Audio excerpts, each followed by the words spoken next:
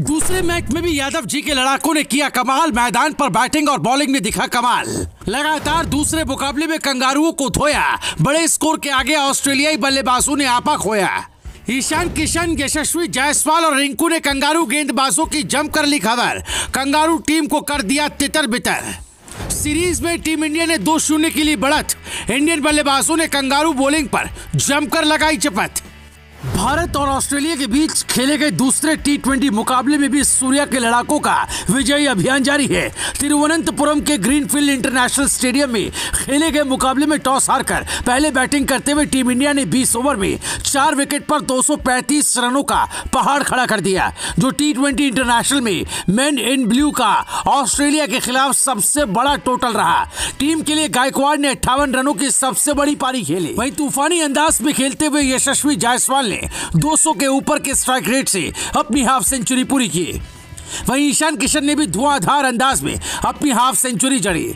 आखिर में रिंकू सिंह का जलवा देखने को मिला। उन्होंने 350 के स्ट्राइक रेट से धुआंधार बैटिंग का तड़का लगाया और महज नौ गेंदों पर इकतीस रनों की पारी खेले। और स्कोर को 235 रनों तक पहुँचा दिया इसके अलावा कप्तान सूर्य कुमार यादव ने भी तेज तर्रार 19 रनों की पारी खेली। कुल मिलाकर कहा जाए तो तिरुवनंतपुरम के मैदान पर कंगारू बोलर्स का बहुत ही बुरा दिन रहा। सभी गेंदबाजों को इंडियन बल्लेबाजों ने जमकर धोया और मैदान के हर तरफ़ चौके छक्कों की बारिश कर दी। स्पिनर ग्लेन मैक्सवेल ने दो ओवर में 38 रन खर्चे। इसके अलावा सीन एबॉट ने तीन ओवर में छप्पन रन लुटाए। एडम जंपा ने चार ओवर में 33 और तनवीर सांगा ने चार ओवर में 34 रन दिए। इस बीच नाथन एलिस टीम के लिए सफल गेंदबाज साबित हुए, जिन्होंने तीन विकेट झटके। इस दौरान उन्होंने चार ओवर में 45 रन लुटा दिए। वहीं मार्कस टोइनिस को एक विकेट हासिल हुआ। 236 रनों के पहाड़ का पीछा करने उतरी ऑस्ट्रेलियाई टीम। कहा जाए तो रनों के पहाड़ में दब कर रह गई। पहले मैथ्यू ने गलत शॉट खेलकर अपना विकेट गंवा दिया। वो फिर से बिश्नोई की गेंद पर क्लीन बोल्ड हो गए। फिर पिछले मैच के शतकवीर जोश इंग्लिश की यहाँ इंग्लिश नहीं चली।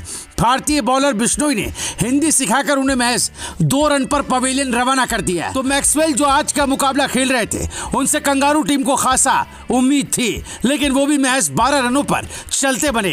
उनका शिकार अक्षर पटेल ने किया इसके अलावा स्टीव स्मिथ भी रनों की स्पीड को तेज करने के चक्कर में प्रसिद्ध कृष्णा के शिकार बन बैठे।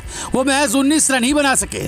टीम इंडिया ने रन ही इतने बना लिए थे कि कंगारू बल्लेबाजों के पास अटैक करने का कोई चारा ही नहीं बचा था और एक के बाद एक बल्लेबाज फेल होते गए और उनकी मंजिल पवेलियन ही साबित हुई और सूर्या के लड़ाकों ने इस तरह दूसरे टी मैच पर अपना कब्जा कर लिया। India versus Australia T twenty series के दूसरे मुकाबले का नतीजा आपको कैसा लगा? टीम इंडिया की आज की परफॉर्मेंस पर आप अपनी क्या राय रखना चाहते हैं? आप हमें अपनी राय कमेंट में ज़रूर बताएँ। सूर्या की कप्तानी में क्या टीम टी ट्वेंटी में झंडे गाड़ेगी? क्या इनकी कप्तानी सफल रहेगी? आप अपनी राय इस पर भी हमें कमेंट में बता सकते हैं। टी ट्वेंटी सीरीज़ और क्रिकेट से जुड़ी तमाम बड़ी अपडेट्स और खबरों के लिए आप देखते रहिए भारत पॉजिटिव फेसबुक पर अगर आप हमारी वीडियो देख रहे हैं तो हमारे पेज को ज़रूर लाइक और फॉलो कर लें। यूट्यूब पर अगर आप ये वीडियो देख रहे हैं तो हमारे चैनल को सब्सक्राइब करना ना भूलें। पास ही लगे बेलाइकन के बटन को दबा दें, ताकि इस तरह की इंटरेस्टिंग और अपडेट से जुड़ी हुई वीडियो आपके फ़ोन में आपको नोटिफिकेशन के ज़रिए मिलती रहे। Bureau report, Bharat positive